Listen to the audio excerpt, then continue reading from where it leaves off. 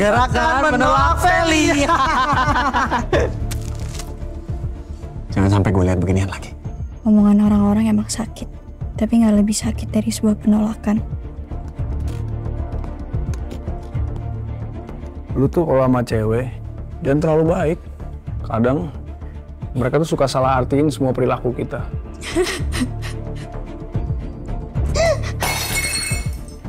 Dengan gue ya, semua bakal baik-baik aja. Jadi, ada satu akun asing yang login ke akun OSIS. Siapa pelakunya?